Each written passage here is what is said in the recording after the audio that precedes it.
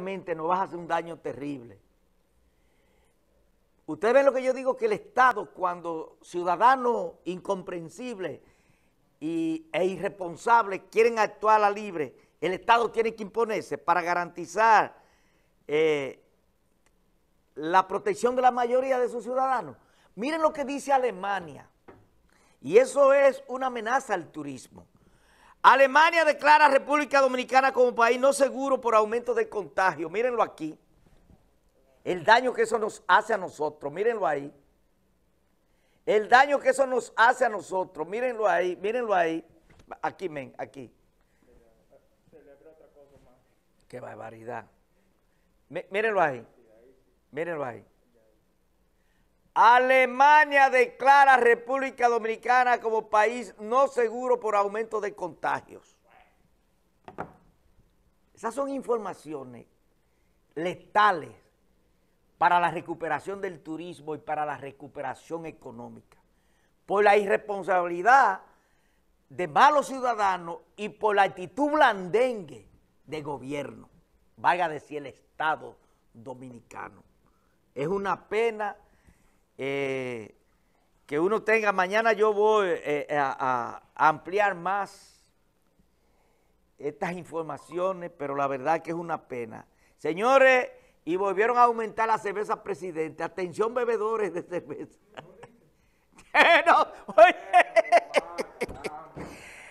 Le aumentaron un 7%.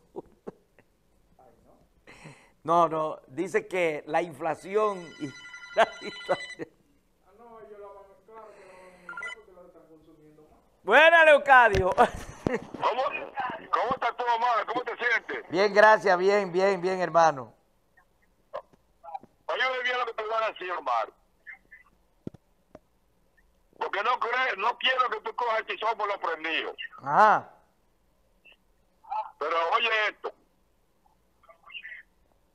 si es Trujillo,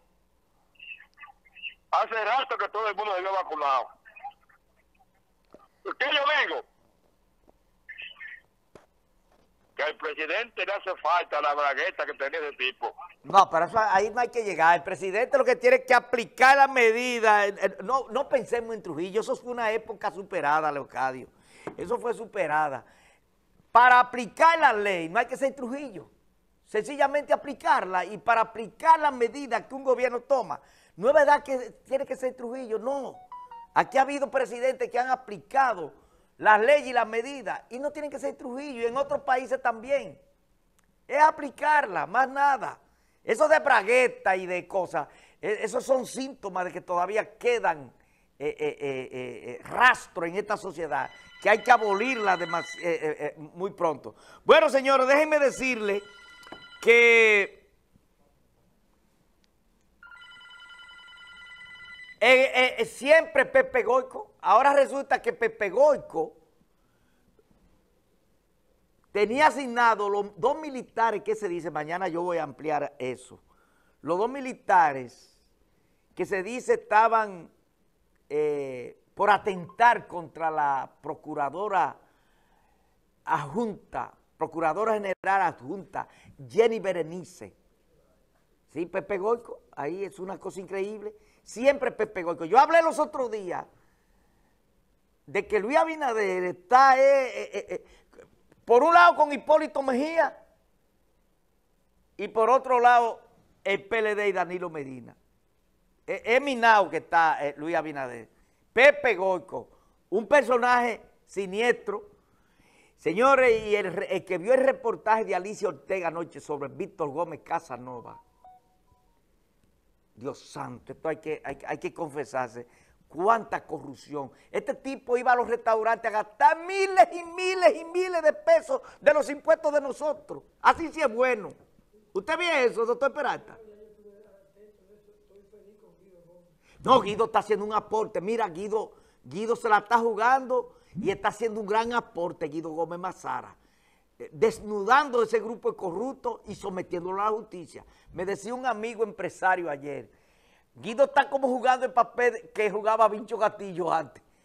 Sí, sí, Guido es el Vincho de ahora, porque la verdad es que, mira, eh, tiene varios casos y tiene varios presos ya. que son autoría de Guido.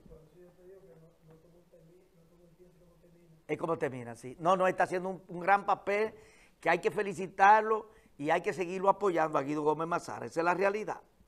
Eh, bueno, mañana yo le voy a analizar algo que dice el periodista reconocido, Ubis Riva, de que debieran haber muchos Kiko Tabar. Kiko Tabar es el actual administrador honorífico de la lotería, interino. Fue director de aduana y fue director de impuestos internos. Mañana yo le voy a decir, oigan, ¿por qué? Porque es que los políticos de ahora no quieren gente seria, ni gente, eh, tipo con cuarto, no importa que sean de narcos, que sean ladrones. Eso es lo que ellos quieren. Los partidos políticos dominicanos, los tradicionales, no quieren gente con vocación de servicio. Lo que quieren es mequetrefe, con dinero, sin vocación. Por eso usted ha visto una serie de, vainas que son de funcionarios y que son diputados y que son regidores que cada día ponen la República Dominicana en una situación bien difícil. Nos vamos a la pausa y venimos a hablar de salud